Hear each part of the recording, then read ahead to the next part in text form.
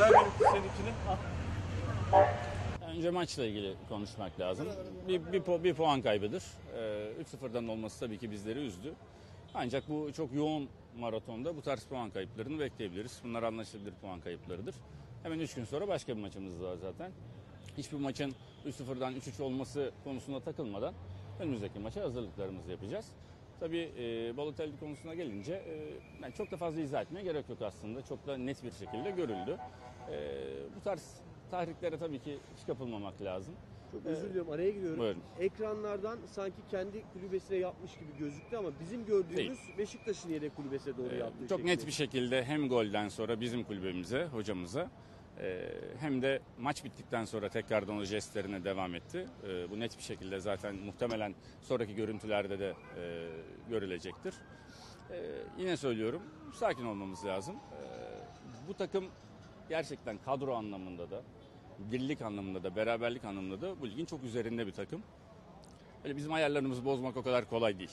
Bunu çok net bir şekilde söylüyorum. Herkesin için müşteri olsun, tüm taraftarlarımızın için müşteri olsun. Bizim öyle ayarlarımız kolay kolay bozulmaz. Biz puan kaybı olarak bakıyoruz. Ancak olan şeyleri de görmüyoruz. Sanmasın kimse.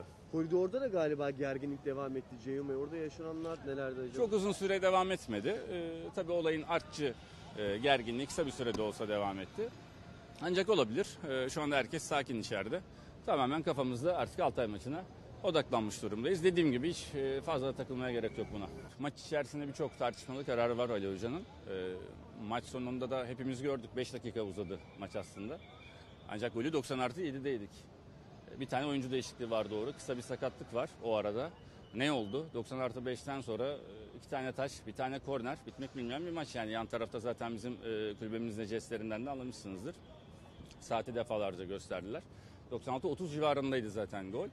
E, Dolayısıyla son gol evet e, baktım ben televizyondan seyretme şansım oldu ancak teknik ekibimizle tekrardan değerlendirme şansımız olmadı ancak e, gelen bütün yorumlarda pozisyonun foul olduğu şeklinde. Vardan dönmemesi e, bizi üzdü, şaşırttı.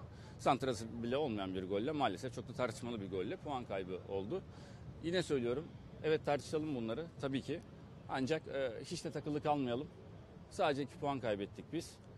Ee, üzücü olan tarafı hem foul kokan bir pozisyonla hem de maçın bitmesinden bir buçuk dakika sonra bu golü yememiz oldu. İşin e, Balotelli'nin yapmış olduğu hareketlerle alakalı da yorumu zaten kamuoyuna bırakıyoruz. Ee, geçmişte de benzer hareketler olan bir oyuncu.